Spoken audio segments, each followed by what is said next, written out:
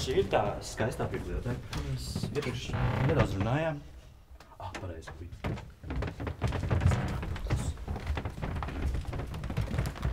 Tā viss tas smuki ļoti izskatās. Piemēram, šitais ķieģelītis, pasties, redz šitais. Šitais ķieģelītis ir Raimonda Brieža bēbītis. Vismaz es to tā gribētu saukt.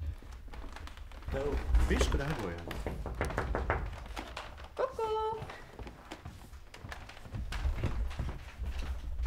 Kā labirintā.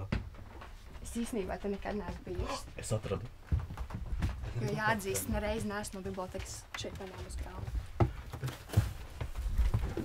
Um, profesor, es pēc tam parādīju, ka jums ir tāda forša, forša grāmata, kas tur tāda, tāda liela smelni oranžs ķieģelītis, vai nē? Un uh, es īstenībā gribēju uzzināt, cik daudz grāmatas ir jāizlasa, studējot kultūras un mākslas studijās, jo es teiktu, ka tas ir vismaz trīs. Vismaz trīs. Mm, Tā varētu būt? Vismaz trīs, divās nedēļās. Ah, nu jā. Jāizlasa daudz. Arī jāzina, ko lasīt pēc tam, kad tu būsi beidzis akadēmiju. Mm, mm, mm. Bet kā var atzīt kultūras mākslas studiju studentu uz ielas, ja es ietu, kā, kā viņš izskatās parasti? Mm, viņš izskatās kaut kā savādāk. Tas ir tāds lielais, manuprāt, noslēpums akadēmijā, ka akadēmijas studenti izskatās kaut kā savādāk. Bet, bet, bet arī tas, ka mēs tā, nu tā atstatu stāvam starp, starp grāmatām, uh, bet ko nozīmē kultūras mākslas studijām klātbūtne? Tā, ka mēs varam šādi runāt un būt kopā vismaz caur grāmatu skapi kultūras mākslas studijām. Nu, es domāju, ka cilvēki jūt laiku un telpu. Viņi jūt to brīdi, kur viņi ir. Un tie brīži ir mainīgi. Tas ir šobrīd jūs tajā pusē, vienā brīdī jūs būsiet citā pusē. Un šobrīd ir tas, ka, ja mēs sarunājamies tikai caur ekrānu, tad jūs esat tikai ekrānā, pie tev manā mājā. Jūs to nezināt. tā, nu, bet, tā- bet tā tā tā lieliska iespēja atnākt pie pasniedzēja ciemos tikai gan. Tikai gan. Nezinot to. Jā, tā vai ne? Bet tad jūs atnākat šeit un ieraugat ir pasniedzēju.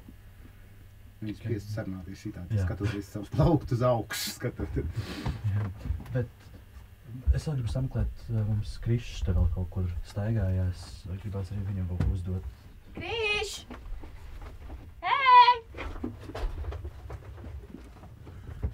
Es te Kurā tu esi? šeit, nu, otrā pusē nākat. Tu gan jau esi liels grāmatu lasītājs, vai ne? Nu, liels. Man liekas, akadēmijā tu iemācies, ko nozīmē lasīt, un tad tu saproti, ka tas ma, mm, tu nelasi daudz. Nu, tu vari pastāstīt, varbūt, ko nozīmē lasīt. Zini, kā... Ko nozīmē? Man ļoti patīk, ka tu tagad domā.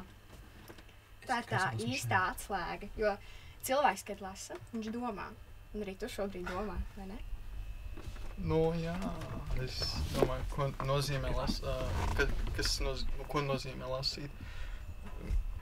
Man šķiet, ka cilvēks vispār ir pieredzējis lasīt. Mēs, piemēram, varam paskatīties pa logu, mēs nolasām, ok, saule spīd. Tā, kā, tā lasīšana ir tik ļoti liels, plašs jēdziens, lai kā, viņu pozicionētu kā daļu literatūras lasīšanu. Tā Kā, tas ir tas akadēmijas burvība, ka tu no jauna iemācies, kā lasīt un ko tu lasi. Un kā tu lasi, respektīvi, zīmes, un tu lasi laiku, tu lasi cilvēku. Kā, nu, ja tu man prasītu daļu literatūras kontekstā, ko nozīmē lasīt, tas no, noteikti nozīmē to, ka tā kā tādā zemdegās iet iekšā.